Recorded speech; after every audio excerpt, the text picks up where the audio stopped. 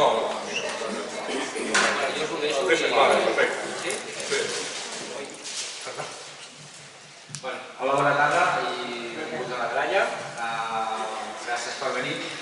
Avui estem aquí per presentar la, la noia del Violoncel, que és editat per l'editorial Columna i que és la, representa la primera novel·la del Sant Jordi Campoll i al seu portat tenim el Sanoy, que és un vell conegut de la gralla, que li farà la presentació. Com ell segur que parla molt espanyol, però us deixo que parli menys. Sentiu sense micro, sí, no? Sí. Va, bé, La cridarem. molt bé.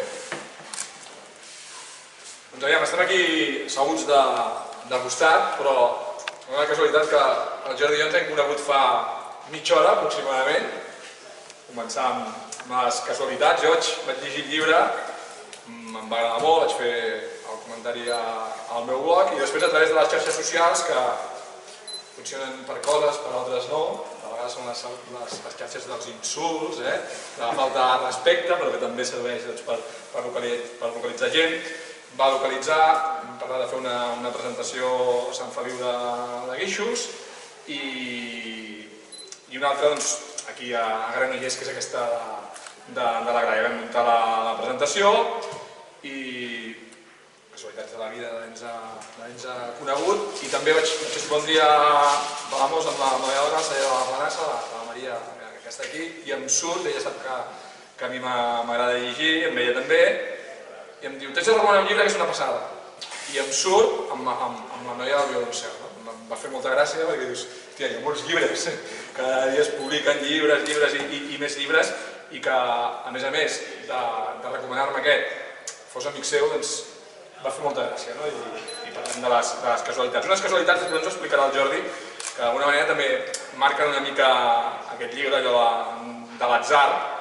Aquesta noia de, del violoncel és la, és la és una noia que viu a, a Londres, que toca la, a l'orquestra sinfònica, lògicament al, al, al violoncel, i un dia, casualitats una altra, una altra vegada, doncs mossuro la, la funda de, de l'instrument, que és una, una funda que té molta història i que ara no, no explicarem, que és molt vella i ha passat per moltes mans, eh, doncs, troba una, una cosa que, que, que d'alguna manera li, li, li serveix doncs, per, per redescobrir-se, per veure que, que potser no era qui, qui es pensava ni, ni venia d'on es pensava que, que venia. Una noia que és molt impuntual, eh?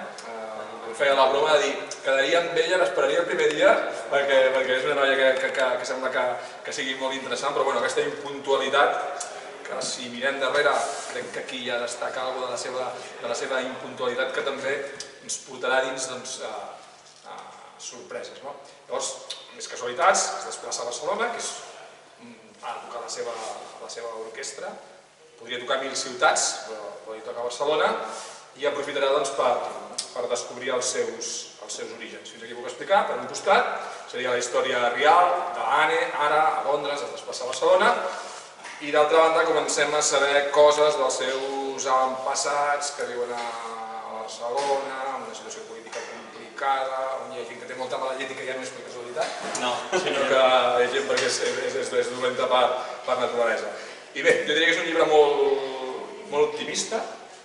És un llibre alegre, el Jordi és, és músic i jo una de les preguntes que li vull fer després, no? Perquè tota informació musical i l'he gaudit, m'imagino que si a més a més eh, saps molt de, de música i trauràs algunes cosetes que, que de, del llibre tindria un pes important, no? Sí, o sigui, ah, si haig de definir la novel·la, bé, molt bona nit, molt ben vespre a tothom, si haig de definir la novel·la amb una paraula seria atzar. Eh, és un atzar que en aquest cas ve provocat per les impuntualitats de la protagonista, com, com ha dit el Jordi, però és un atzar en el, en el qual ella hi participa, perquè vosaltres esteu tots aquí per, no és per atzar, però perquè ho heu triat vosaltres i venint aquí heu desestimat les infinites coses que hi ha per fer a l'uni- al, al món. Vosaltres les heu desestimat. Totes, excepte una, que és venir aquí. Això, no, sabem com hagués estat la vostra vida si a l'últim moment haguéssiu decidit va, doncs no hi anem perquè m'ha trucat algú per anar a un sopar i em ve més de gust, no? A lo millor us haguéssiu trobat algú que us hagués regalat un número de loteria i demà seríeu milionaris, o a lo millor us haguéssiu entrebancat i us haguéssiu trencat el turmell. És a dir, aquests petits ajustos, aquestes microdecisions que nosaltres prenem cada dia, des de que ens llevem fins que ens anem a dormir, marquen la nostra, la nostra vida. Nosaltres avui eh, farem un di el dia d'avui, l'acabarem i diem, bueno, avui hem fet això. Eh, haguéssim pogut triar altres opcions, però hem triat aquesta. Aleshores, de fet, la, la vida és eh, una sinfonia inacabada que nosaltres anem construint eh, entre tots a temps real, que no podem rectificar mai. Tot el que hem fet avui ja no podem, ja no podem esborrar-ho i tirar-ho enrere. I llavors una mica aquest és l'atzar que vull transmetre, el dels petits canvis. Uh, puc explicar una miqueta més de l'argument? Això ja se te la teva Va, perquè, ah, perquè sou vosaltres. Uh, uh, L'Anne troba, com ha dit el Jordi, uns objectes estranys dins de la, uh, vells, uns objectes vells dins la funda del violoncel i comença a estivar del fil. I descobrirà els seus orígens que estan vinculats amb la Barcelona dels anys 60 i 70 a través de, de dos germans d'uns 10-12 anys, un dels quals toca el violoncel. Aleshores, a aquests germans se'ls mor el pare, que és mestre, que era l'únic sou que entrava en aquella família. La seva mare cosia peces, tal com feia la meva quan érem petits, a Sabadell, ciutat tèxtil, i, i llavors es troba en, en una situació econòmica molt dolenta i la, la mare ha de buscar feina en una fàbrica i una de les conseqüències d'aquesta situació econòmica és que s'han de, vendre el, el violoncel, aquest instrument tan preuat per aquell nen. De fet, ell, mate, ell mateix diu, té mare, venem-nos-el, això ens ajudarà. Aleshores, com aquest violoncel arriba a Londres a mans de l'Anne, això ja no us ho puc explicar, fins aquí puc llegir, però sí que eh, el fet d'anar-nos a la Barcelona dels 60 i 70 sí que tenen una mica més a veure amb mi. Jo vaig néixer l'any 70, Eh, haig de dir que abans jo, a mi m'hagués agradat escriure una novel·la que estigués més eh, reflectida, en, ambientada en la Guerra Civil, però vaig entendre que no tenia prou documentació, perquè afortunadament jo no he estat mai a la guerra i espero no estar-hi. Considero que un autor ha d'escriure sobre allò que coneix de primera mà i com que jo fa 22 anys que em dedico a la música, doncs vaig, vaig creure important que la música fos almenys el rerefons o l'alma mater de la novel·la i podeu trobar, no sé si centenars, però desenes de referències musicals, sobretot de música clàssica, que podeu escoltar o no, podeu passar-les per alt. Òbviament, eh, faig moltes metàfores amb la música, no es necessita tenir cap coneixement musical per llegir-la, absolutament cap, però sí que si us agrada la música, que és la immensa majoria de gent, els agrada, doncs sempre hi ha doncs, com una mica de banda sonora darrere fons, com la música com un personatge més de la novel·la, per la formació professional meva. Eh? Llavors, què més us en puc dir? Eh, hi ha un personatge que a mi m'agrada molt, que és el personatge de la, de la Mercè, la mare d'aquests nois, que està inspirat en la meva mare. Uh, uns records que, que tinc d'infantesa de quan la meva mare pujava al carretó per unes escales que tenim a casa, molt estretes, i sentíem els sorolls dels graons, deurien ser potser les 7 del matí, en ple hivern, a l'època quan feia fred, perquè ara ja no en fa, però abans quan érem petits feia fred, eh, recordo que, que ella pujava les escales, eh, igual s'havia llevat no sé, a les 6 del matí, i recordo també com em banyava a dintre d'un cubell de color blau amb aigua que havia escalfat al foc perquè no teníem tampoc aigua calenta, com m'espetegaven les dents del fred, com m'abraçava amb la tovallola, Uh, I aquestes vivències de meves d'infantesa són els que configuren aquest personatge que es diu Mercè, que és la mare d'aquests bessons. Bueno, no havia de dir que eren bessons. Bueno, d'aquells germans que potser, que són bessons. El, el detall és important que l'entenc al final o... No, no, no. No és un gran spoiler. No, però a més apareix, apareix una foto al començament sí. que jo crec que, que podríem dir tranquil·lament que eren que eren, que eren bessons. Ara que explicaves totes aquestes coses, eh, sempre es diu que la pregunta que no s'ha de fer mai a un autor és si és autobiogràfica, que la majoria s'emprenyen. Ah, tu, pel que has comentat, ja hi ha moltes coses teves, diríem, sí, no? Hi ha, hi ha... A vessant de la música, que no és un piano, que és el que toques tu més habitualment, no? Que seria un violoncel, un instrument, però, però bé, eh, la Barcelona del 70 directe o indirectament la vius sí. i els records de, de, de la Mercè són, són records propis, per tant eh, hi ha molt de tu en aquest llibre, a part d'escriure'l, de, de vivències personals. No? Hi ha aquest personatge i un altre, que és una professora de música que vaig tenir, que aquests són descaradament ells. Llavors, ha fet una cosa molt curiosa. Espero que que és- l'inspector aquell no sigui ningú. No, no, no, no, no. és Jo, jo com, que, home, com que diuen que eh, tots els personatges tenen alguna, alguna cosa de l'autor, aquell inspector dolent, jo, jo he pensat, dic, a veure si en tindré un tros de, de box, jo, i no ho sabia, perquè em vaig espantar, i no te'n compte, tranquil. Que se n'ha de parlar poc. Parla massa i després mira què passa. I ho diem a les presentacions.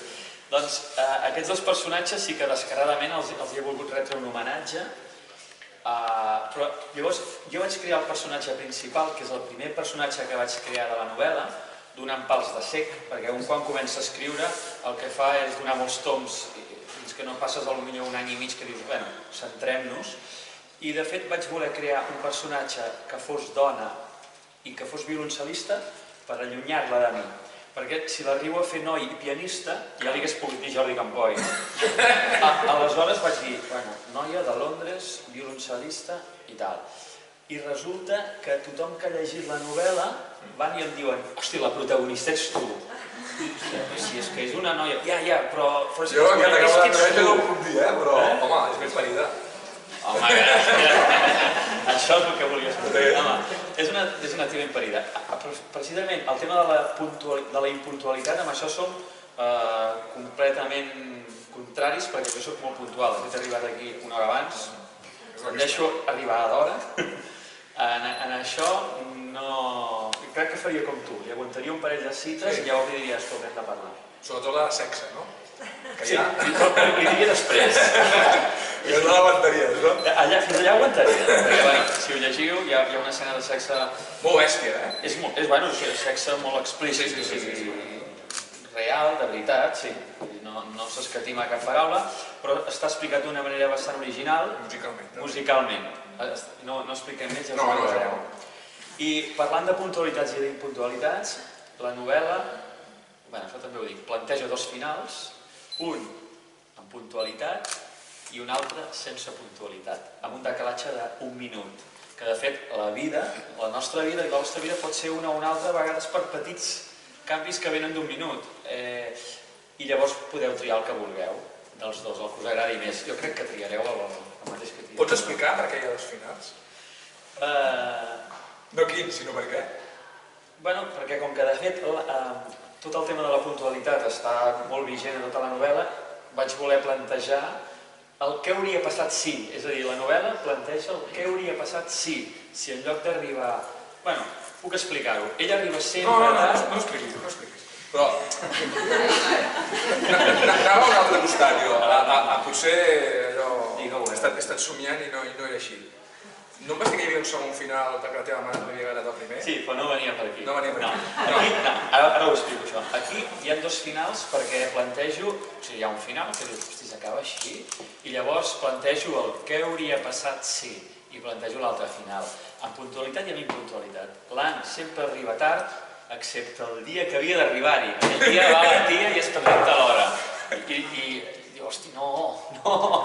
I llavors dic, bueno, Però els dos finals són macos, sí, home, No és allò de dir, en una se muere i l'altra no, no. No, no, no. Vull dir, So, els dos són bonics. Crec que el segon va deixar més satisfeta la meva mare. Sí que hi té a veure, perquè jo li vaig deixar la novel·la tal com la tenia abans, i oi, m'agrada molt, per, per la meva mare és el llibre millor que s'ha escrit en tota la història de la només literatura. faltaria.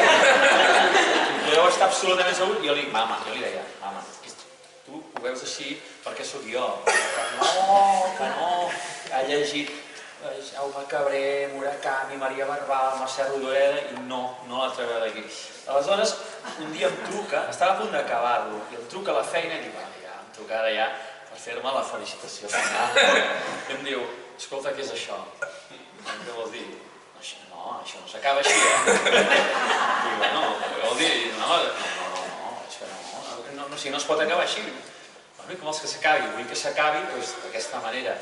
Doncs vaig escriure quatre pàgines, les hi vaig portar impreses amb el final que ella volia. El va llegir i va dir, ara sí. De fet, tenia part de raó i encara m'ho recordo.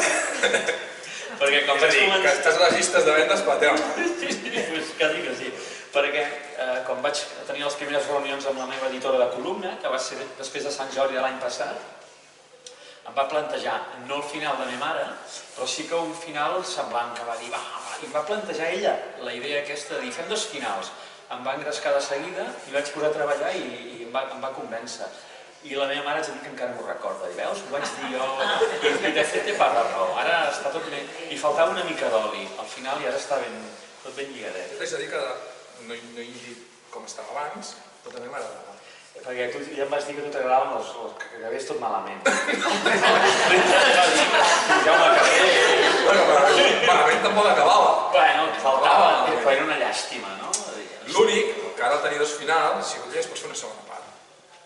Mira, estic escrivint una segona novel·la que no té res a veure amb això. O sigui, jo crec que No? aquesta... Jo la deixaria. Vale. De moment la deixem. A lo millor d'aquí 10 anys ve de gust. Però sí que en aquesta segona novel·la, l'Anne, la protagonista, hi farà un petit cameo. De 5 minuts, com apareix com un personatge perquè és amiga del protagonista i podreu conèixer la seva situació actual del 2020, perquè això passa el 2007, ja tenia 34.